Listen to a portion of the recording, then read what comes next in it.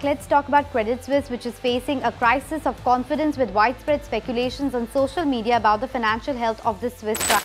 This is not true. Credit Suisse is not going bankrupt. So I think what we need to discuss in this video is why is the media talking about it? Why is it on everyone's profile that Credit Suisse could actually be another Lehman crisis that happened in 2008 that could lead to something disastrous and the stock markets would continue to tumble.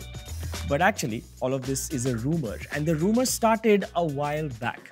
And this video, we're going to talk about what that rumor was and how it extended. And is Credit Suisse really going bankrupt? If not, what's its status today?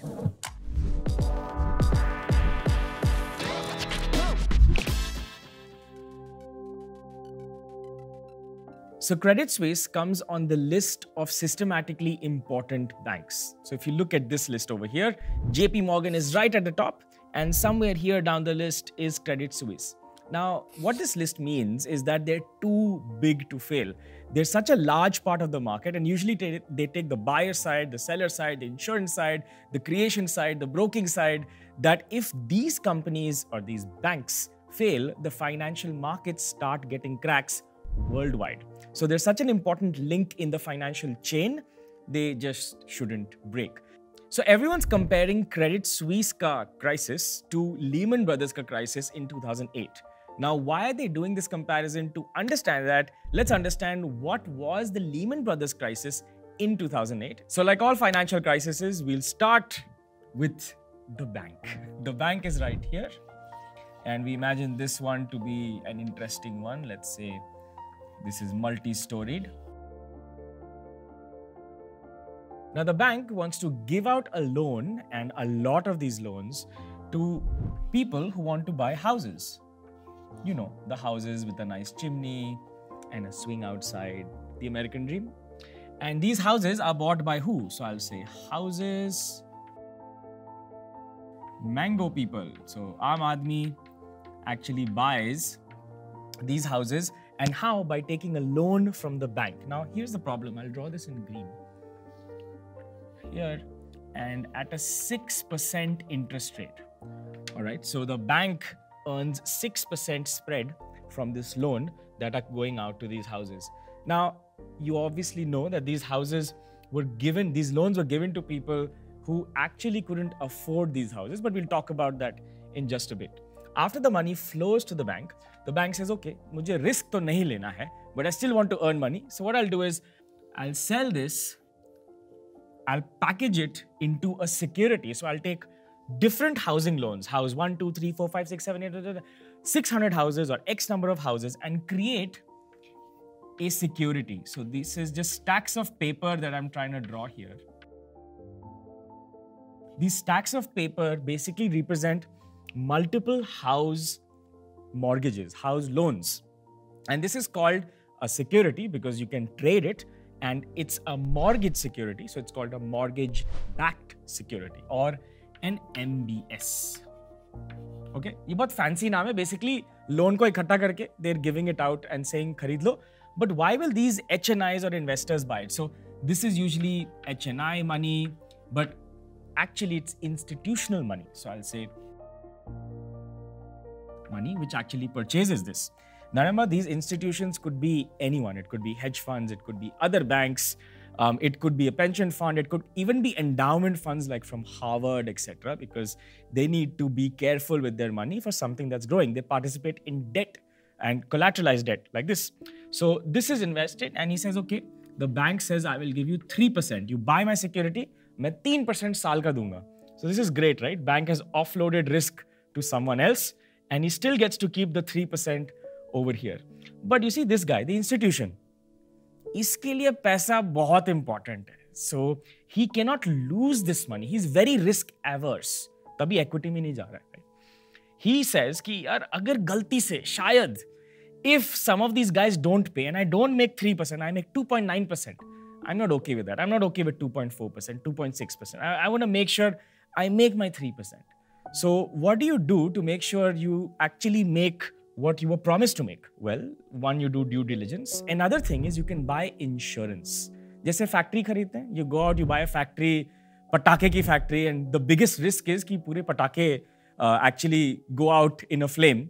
So what does the factory owner does? He buys an insurance to make sure if that happens, I'm still safe. Similarly, this is the asset. They say, okay, I want to buy insurance and I'm going to draw this dotted line here.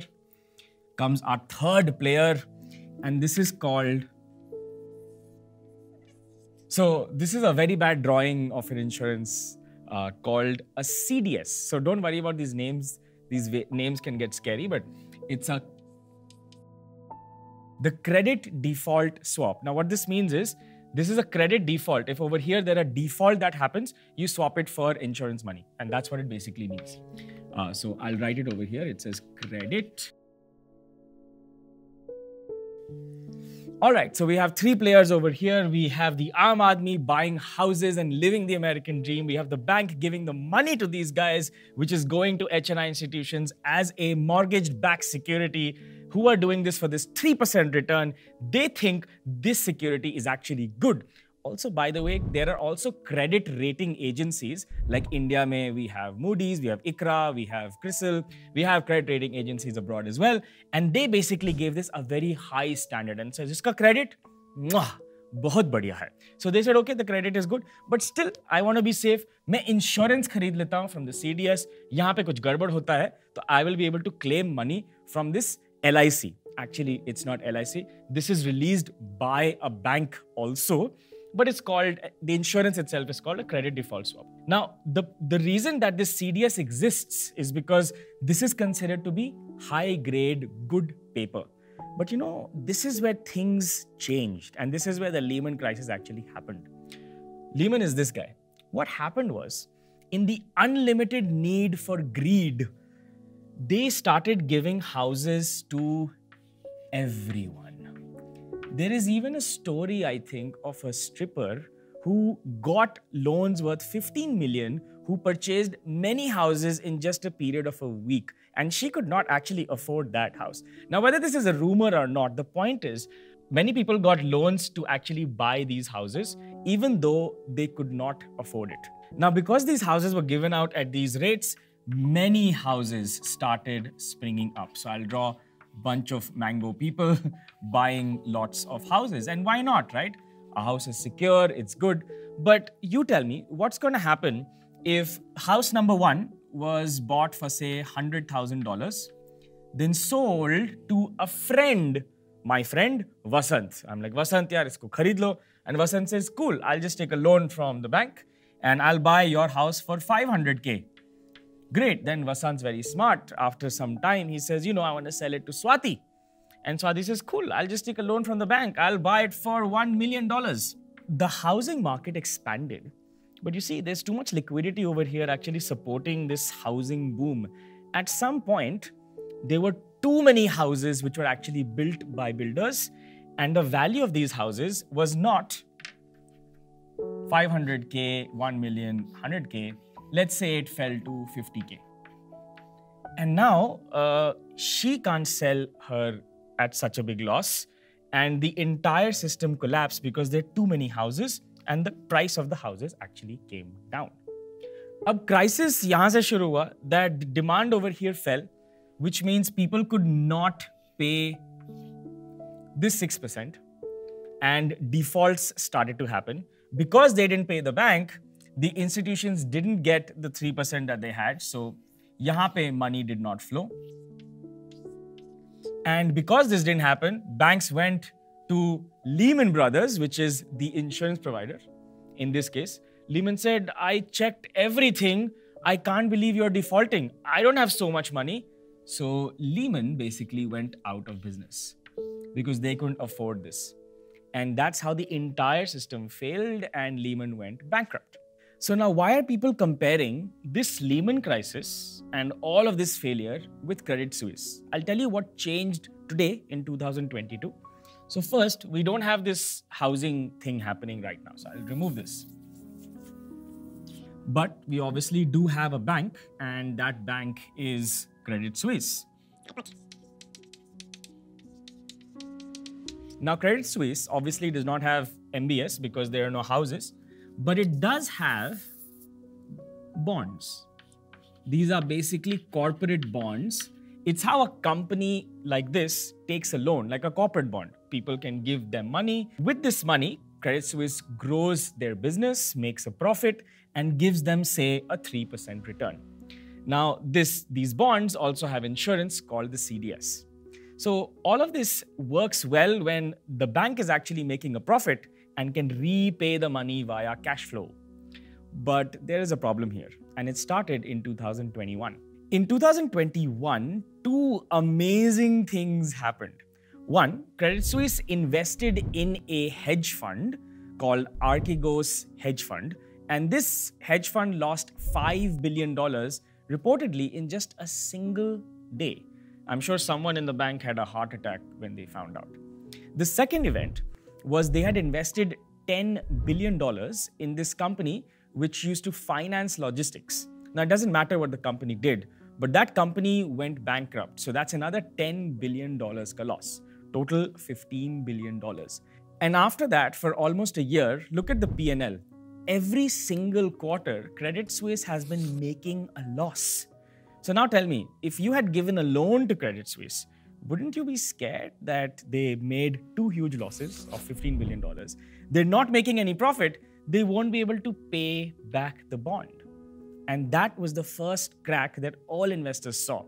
And when this happened, they all ran towards the insurance product, which was the CDS, and said, hey, I need to buy the CDS. In case they default, at least I'll get my money back. Now, the demand for CDS actually went up so let's suppose that this bond is worth $100 million. So this is $100 million. If you want to buy an insurance for this, you would pay about 1% of the entire amount. So 1% of 100 million is $1 million. So 1%, that's about $1 million. And that basically insures you against the entire bond that you purchased. But because the CDS demand was so high, because people were scared, remember, people were scared, this became 2.5%. So almost $2.5 million, for example. And this is unusual. People don't pay two and a half times something. So the fear became even worse. And during the Lehman time, this is exactly what had happened. When the fear starts to set in, insurance prices started to go up. And just this linkage, this one single linkage, that the insurance premiums went up, this could be another Lehman crisis. You started seeing news all over the media that this could repeat and catastrophe is probably at the end of the tunnel. Now, this is not the case. Let's understand why. So, the first thing you should know is that these bonds that they have to make payments to are worth $6 billion. That's a pretty big number, and I'd be worried myself too. 6 billion bahut zyada paisa hota hai. But let's understand how large the company Credit Suisse actually is. Their total assets under management is $1.1 trillion. That's a lot. But of course, I can't take that assets under management and pay the bonds. I can only pay it from assets that I have or from profits. Profits, though, they're not making for the last four quarters. So let's look at their capital structure. So, capital structures of banks are divided into tiers tier 1, tier 2, tier 3. Basically, this means liquidity. Tier 3 means I can't withdraw this money easily because they're stuck in assets over a longer term. Tier 1 is immediate liquidity. So this means that I can take this money and use it for the bonds. This is $130 billion. Tier 1 capital that they have is 130 billion. So all you need to do is simple math. Dena hai 6 billion, hai 130. Does it sound difficult? No. Therefore, there is no liquidity problem over here at all. So another way to know whether a bank is liquid or not is using the capital adequacy ratio. So a ratio of 3 or 4 or 5 is considered good. So they have a capital adequacy ratio of one 1313, which is much higher than many banks over here. In summary, what I'd like to say is that this too was a rumor that went out of control. Someone used the word CDS, compared it to Lehman, and everyone got scared spiraling downwards, the story became worse. And these guys can actually afford what's happening right now. There is no crisis. On, I think, around 27th of October, there is a meeting where they're going to restructure the entire capital of the company to find out if there are any skeletons or any provisioning that needs to be done, which makes this company even stronger going forward. Maybe that's a point where the stock also turns. But this was a high class rumor, and a lot of people got stuck in it. What do you think? Was this a little more complicated than you thought?